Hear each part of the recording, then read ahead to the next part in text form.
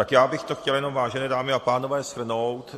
Vládní pětikoalice tady porušuje zákon o jednacím řádu, protože faktické poznámky jsou tam jasně zmíněné, a to se ani neptám, a já se tady perzekvovat od vládní koalice nenechám, zdali to omezení těch faktických poznámek na dvě náhodou neplatí i pro nás s přednostním právem. To teda opravdu budeme muset zasáhnout, protože to už jsme tady řešili jednou a kvůli tomu se musela přerušit schůze a byla tady z toho pro vládní koalici velká blamáž.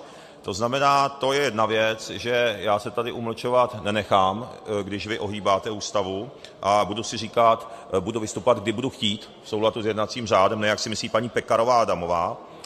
Samozřejmě problematický moment je ten, že když nás tady budete napadat a lhát, což je vaše obvyklá metoda, jak paní Pekarové Adamové, tak některých, poslanců vládní pětikoalice, tak my nemůžeme reagovat. Naši poslanci budou napadeni opakovaně a oni nemůžou reagovat, protože chcete omezit faktické poznámky. To, co si o vás myslí reálně občané, zažil přesně včera ministr vnitra Vít Rakušan, předseda STAN. Lidé volali fašisto, demisi. Ano, přesně dneska to zase předvádíte. Novodobí fašisti, který, který nejste schopni akceptovat. Slova, no jasně, že jo, jasně, že jo.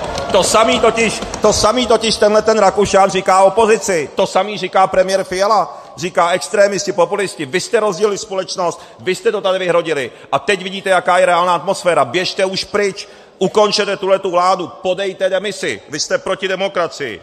A znova říkám, tady paní Pekarová Adamová, mějte sebereflexi. Jste nejméně důvěryhodnou političkou v České republice. Drtivá většina občanů vám nevěří. Ukončete to, běžte pryč, nemáte žádnou legitimitu navrhovat takové změny, co tady předvádíte dneska.